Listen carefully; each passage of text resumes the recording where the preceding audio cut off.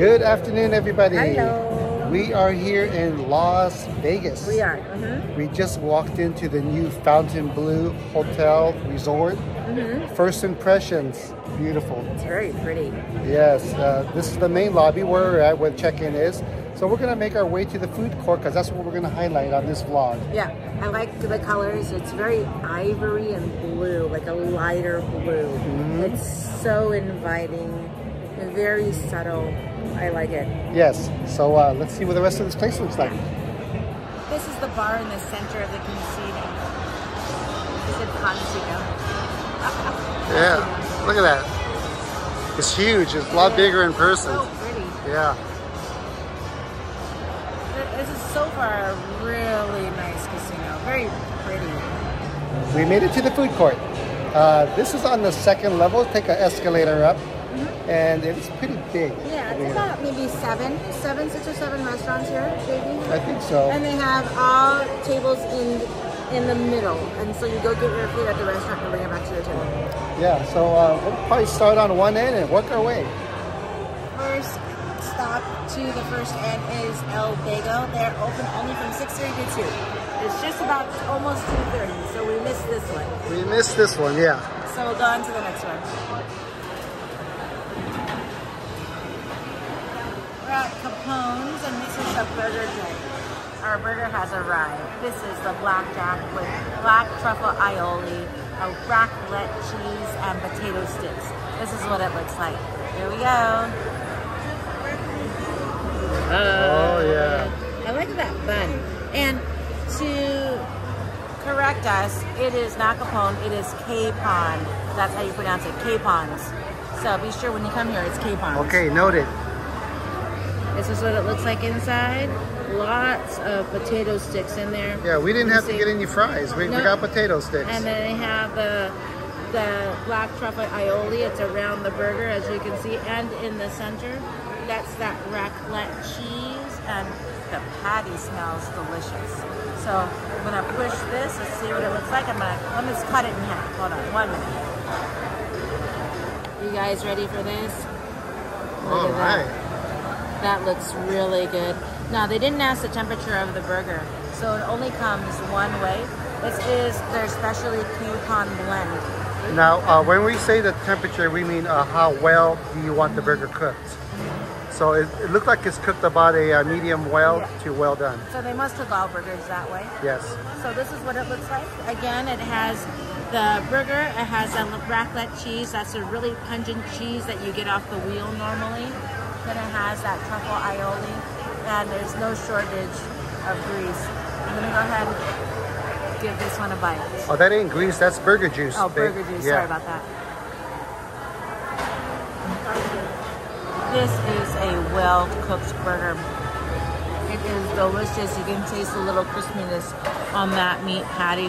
What I like is when you bite into it, you get that crunch of those potato sticks. You can taste that cheese.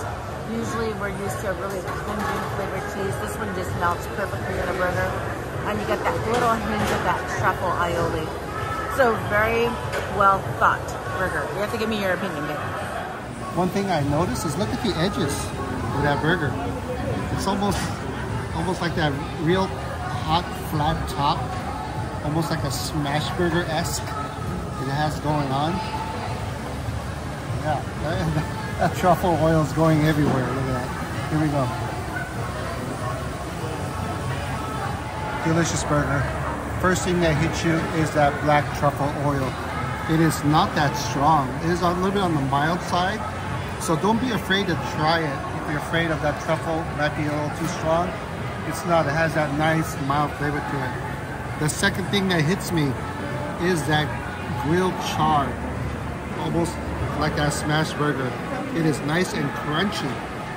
I love that on the outside of the burger patty.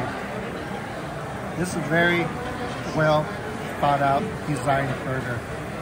It's very good. Yeah, I highly recommend this one.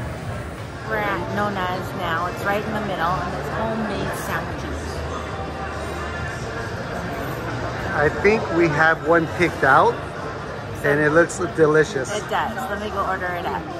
Here we go. We have the tri-tip dip here.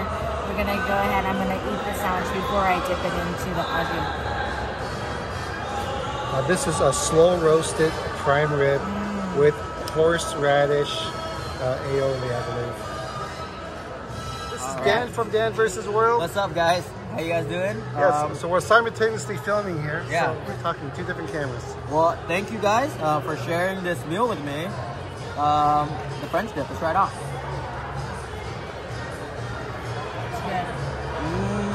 good sandwich.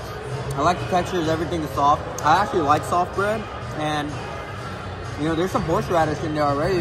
Opens up the nasal, and um, yeah, everything is soft. The meat is moist, and that uh, au jus is very brothy.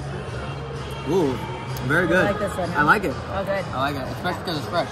Yeah. Did you try it with the uh, No, au jus? I haven't tried it with Yeah. the au jus. Hey, how about you guys compare it to um, Philippe's And we haven't been to Philippe's in a while.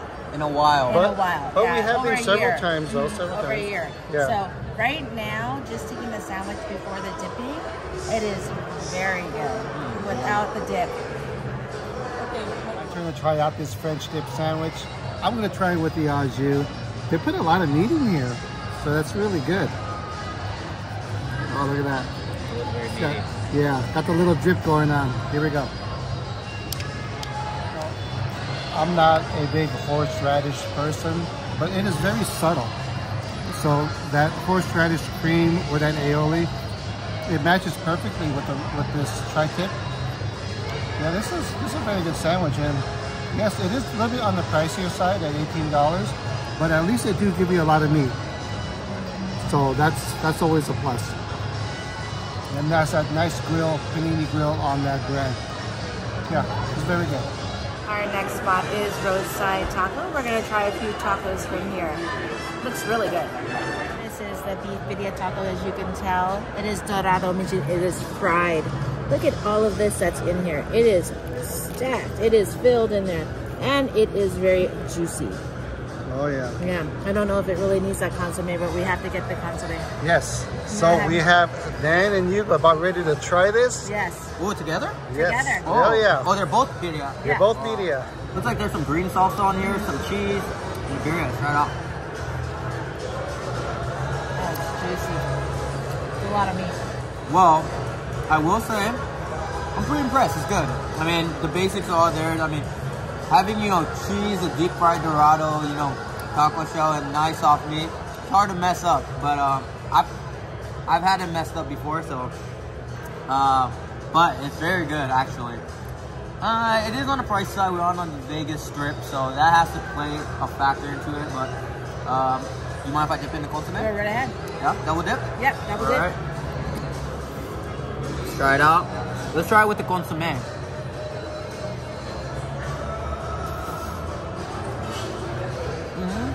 I like it a lot. And I feel like it's um kind of a little bit, for lack of a better word, I'll say fusion for the American palate because all the flavor is there, but it's a little bit dumbed down on the spice, which I kind of like because I don't like my tacos super spicy. And they're called roadside tacos. I don't know if it's a play on like like um like a roadhouse or something like that, but it is a very very I would say American version of a birria taco, but it works. It's, it's really good. Mm, you try it out, Okay. bitch. Yeah, yeah. My turn. You can see how juicy it is. It is just soaked in there. Go ahead with before the consomme. Mm. That's a lot of meat. I see what you mean. Delicious, first of all. But we are used to, especially for LA, a little bit of a spice in that. This is not any spice at all, but good flavorful meat in there, right? Yeah. Yeah, I totally can see what you mean. It's different, but it's still good. I, I like it. Yeah. It's very good. And I drink the consomme. Mm-hmm. Very good consomme. And very good taco. I think we, if you kick up the spice to the tinge, then it'd be total LA. LA birria taco. But it's good for the way it is. If you notice what's pretty neat is they put the paper of the type of taco that it is. So this is this pork for the pastor, and it says beef for the asada. That's pretty neat. So um, in case you uh, kind of get confused, that, uh, that I'll show you what it is. So again, this is the pastor. They do give you a nice little slice of pineapple or pina on top of that. Uh, they asked you if you want everything, and we said sure. So they put everything on it. So let's go in for a bite.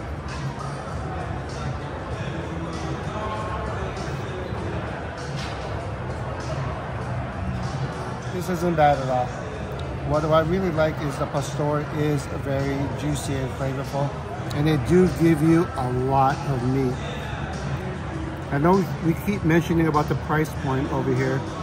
This was $8, but twice as much as a typical pastor taco elsewhere. But they do give you a little bit more meat, and you can tell, even though it's a single layer tortilla, it is definitely a house-made tortilla. You can just tell the freshness in it. And you always have to keep in mind where you're at. You're at Fontainebleau, a very high-end resort, so you have to expect to pay resort prices.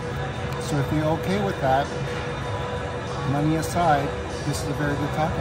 I like it. Here is the pastor taco. The flour or the corn tortilla looks very nice. It doesn't need that second tortilla because it holds really well together.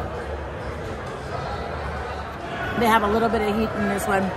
Really good flavors in the meat. You can tell that these tacos are legit, even though, again, they don't want to keep on messing the price point, but you can tell the quality of these tacos is right there.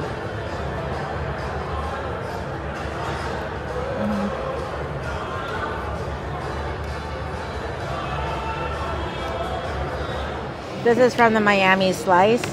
Oh, look at that. This is the pepperoni Proper. proper. Uh-huh. Yes. This has hot honey. I know that. Yeah, hot honey. Pepperoni proper has hot honey. That's what Nine I bucks right here. that's what I call pepperoni pizza. Look at all those Roni cups. Oh yeah, I love it. It's got the little Yeah. pools of pepperoni oil inside there, Yeah. as you can see. And you can see the honey right here. All these little pieces of honey.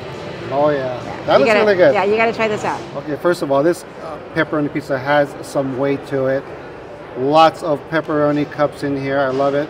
I love when it gets a little bit charred as well on it. Let's go in for a bite. Look at that one that's kind of hanging. Look, one that's hanging right there. It's a hanger. Yeah, hold on, let me do a little flip. How'd you like that? Here we go.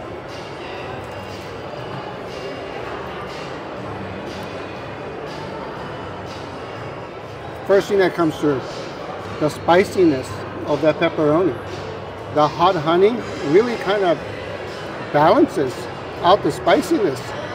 So that hot honey, you get more honey, I think, than hot, but it is very good. You have to be a fan of pepperoni to enjoy this. Thin crust. The bottom looks nice. The crust, nice and crunchy. I can just tell. So yeah, if you're a pepperoni fan, you definitely love this one. Look at that. I love those little pools right there. First thing that comes over to me, hits my tongue, is that little bit of sweetness and a little bit of a spicy sweetness. Then a little bit of the saltiness of the cheese. Absolutely delicious. And the crunchiness of that pepperoni. Good balance again. Quality ingredients, quality pizza. It's very good.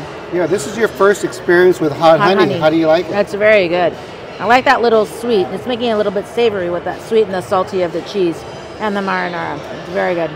Here at Bar Ito, this is where you get your sushis and hand rolls. So we're going to get a salmon bowl that looks delicious. Here's the menu over here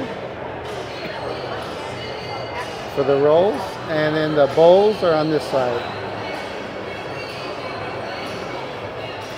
This is the salmon bowl.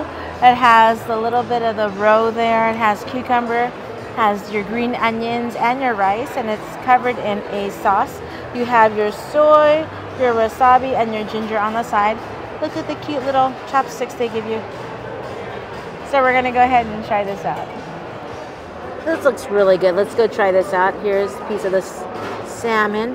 Let me get some of that rice in there. And what it's really cute is it feels like a, I think it's plastic, but it feels like a bamboo little holder. Here we go. That looks really good right there. Mm. The rice is really warm. And that salmon extremely fresh tasting. It's really good with these little roe here. Uh, it's salmon eggs, I believe. Mhm. Yeah. Oh, very salmony. The eggs are very salmony. I'm not a big egg person, but yeah, you have no question that that's salmon right there, and of course cucumber. Is the marinade on the sweeter side or, or not? And a little bit on the kind of like the vinegarish side. You have to try it out and try it. Um, the cucumber. It's a it's a good dish. Probably with all the food court here, it's probably not the first one I go to, but it's good. Let me try this out real quick. It's good. Is it something that would just blow me away? No. But if you are in the mood for a Japanese sushi hand roll or a bowl, I think this will satisfy your craving. But to us, it's, it's good to okay. This is the last of the quick service eats up here in the promenade. This is called break. We're gonna get a little bit of a dessert here. This looks really interesting. Exotic fruit and banana cake. Yeah, that one does. And then they have fruit danishes. Cinnamon roll. Yeah, that looks good. Blueberry muffin. I think this is what we're gonna get. We're gonna get the seasonal cheesecake. Yeah. And they have one more over here. A hazelnut cake. And of course, uh, chocolate croissants. They're humongous. Yeah, some good sized ones, right? Chocolate and regular croissants. Wow. Okay, yeah, I think we're ready. From Break, we got a latte and we got their seasonal cheesecake. What's really cool at Break is they have all different types of lattes. They have like a waffle latte, they have like a tuxedo latte, but we just got the plain latte. This looks really good. It's gonna fit our cheesecake just divinely. This is the seasonal, Yeah, and it's got a gold flake on it, so you know it has to be good. it has to be. I like all of the fruits on here, all different types of fruit. Here's a blueberries, here's raspberry, strawberry, blackberries. Has a little bit of everything. Let's go ahead and try this out. Are those gold flakes? It's a gold flake, so you know it has to be good. Yes. Ah. We're gonna save that little gold flake for last. Here we go. It looks pretty good.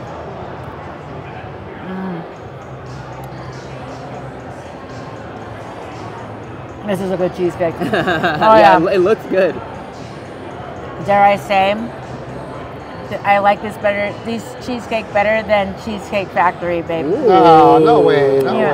way. Way, Bill- way. Bill- Bill Believe looks me. Surprised. Let me give this a cheesecake a try. You know, I'm a fan of cheesecake, and I love when they use the graham crust on it.